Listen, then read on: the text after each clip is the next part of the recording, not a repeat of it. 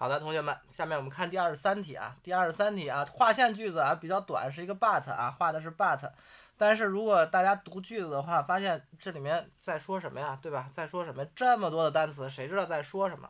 啊，二十三题啊，如果同学们的词汇量如果不够的话啊，它是一个纯需要句意解题的东西，可以把它放在非常非常次要的位置。但是里面啊还是有一些可以来学的东西啊，可以来学的东西。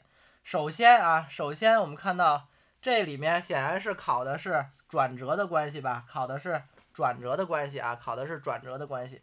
也就是说这一群人是 primarily planters 啊，是 planters 后面然后。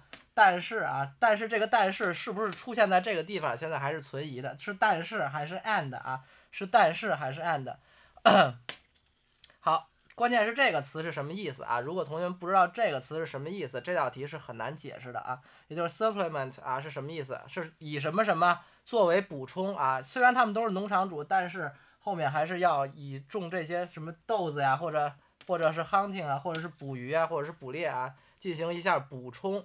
好，那么我们看到考转折的时候，到底是前面这句话重要，还是后面这句话重要？这个就是 but 跟 although 的区别吧？这就是 but 跟 although 的区别。好，这个这这个到底是前面重要还是后面重要？我们看到前面是什么呀？primarily，什么叫 primarily 啊？对吧？主要是什么什么嘛？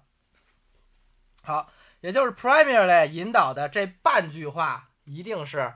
最重要的啊，一定是最重要的，因为它的意思是主要是什么。那么如果我说主要是什么，那么后面的东西一定是非常非常重要的。好，如果这个的话是主要的的话，那么我们发现这个地方实际上在句首的时候是省略了一个 but 的吧？啊，是省略了一个 but 的意思，不是省略了 but 的这个词啊，不是省略了 but 的这个词。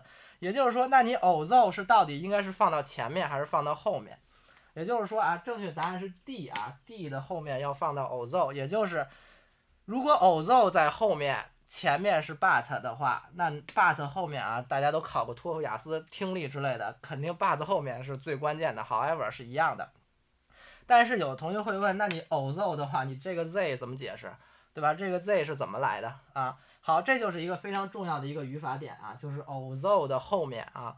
Although 的后面一定要接完整的句子啊，一定要接完整的句子，也就是主语是 they，谓语是 supplemented。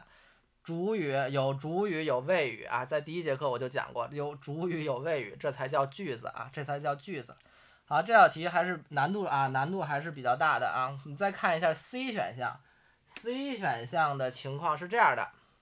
你 C 选项一个 and 代表的是连接，是承接，那么 even though 代表的是让步。你两个关系词连接一个东西，这个有可能吗？根本就不可能吧。再一个，让步跟转折是同样的，是同同一个意思吗？这个显然也不是吧，对吧？啊，也就是 C 选项这个地方显然是逻辑是比较混乱的啊，显然是比较混乱的。好，A 选项，A 选项跟 E 选项的 but 如果放在这儿，句子的重心就变成了这个是次要的，but 后面是主要的。但是我们通过 primarily 这个词来看，它实际是想说这类人是 planters 啊，这个是主要的，后面是次要的。所以后面这部分啊，只能是用 although 来引导。但是啊，再说一遍，这二十三题确实需要同学们的词汇量比较大，在考试中呢，通常也不会用。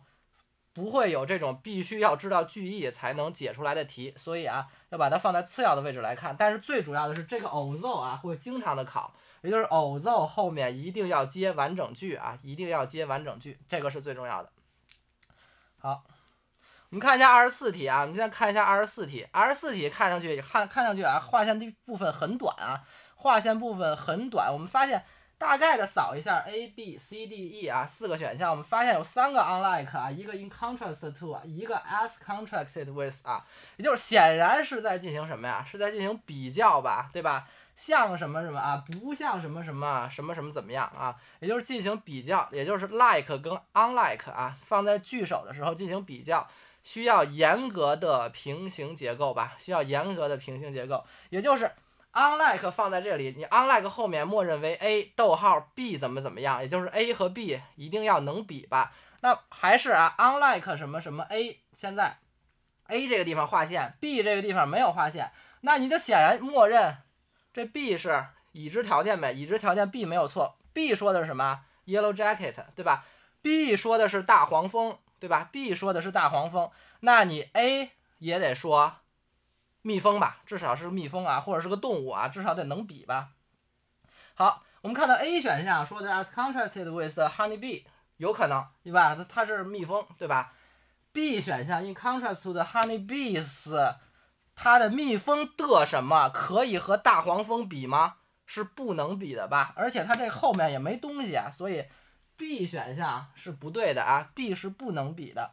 C 选项 unlike the sting of the honey bee，也就是 A of B 结构的主体是在什么地方啊？是在 sting 吧？是在这个啊针啊刺人的这个针这个位置。那显然，你 sting 跟这个 yellow jacket 能比吗？显然是不能比的吧。我们看 E 选项，unlike that of the honey bee，也就是说这道题还是 A of B 结构。that of the honey bee，你第一不知道这 that 说的是什么。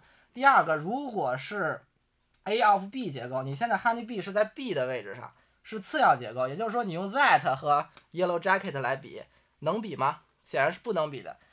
再有一个错误啊，这个 that of 只能放在 than 的右边吧，也就是说你只能是先出现一个单数名词，再出现这个 that of 啊，不可能在 that of 放在句子的左边，然后后面再出现一个名词啊，这个逻辑是不对的啊。好，D 是不对的。那我们现在看到 E 是 unlike 的 honey bee，这是蜜蜂，后面是 yellow jacket 是大黄蜂，这能比？现在剩下了 A 和 E，那 A 和 E 选哪个啊？那显然选 E 呗。那你能用 unlike 来解释的事儿，你干嘛要用这个 as contracted with？你啰不啰嗦呀？对不对？能用一个单词表示的，不要用三个单词表示。那你要猜的话，有一个猜词什么最最短的原则，对吧？A 和 E，E 才几个单词？一二三个单词，E 啊 A 是这么多单词，你肯定答案是 E 啊。这个也就是说考的是 unlike 或者 like 在句首的一个比较啊。好，刚才啊这些都讲过。第一个 unlike 啊，A 和 B 啊，必须要是同类事物进行比较啊，这这种题已经做过很多遍了。第二个啊，就是 that of 跟 those of 这个比较只能出现在 than 的右边啊，先出现名词，再出现代替这个名词的代词。好，然后改变句意的问题啊，改变句意的问题就是刚才说的这个 sting of 啊，这个明显的是改变句意，因为后面是 yellow jacket，这儿是 sting of A of B 结构，sting 是核心词。好，后面啊，第四个刚才就是说的 as contracted with 和 unlike 的区别啊，能用一个单词，不要用词组啊，不要用词组啊。好，也就是说啊，很多同学们不知道 yellow jacket 是个什么东西啊，以为是个什么夹克啊，啊，不知道啊，不知道你就知道它是个东西就行了啊，知道它是个东西就行了。好的，这就是这讲的全部内容，谢谢大家。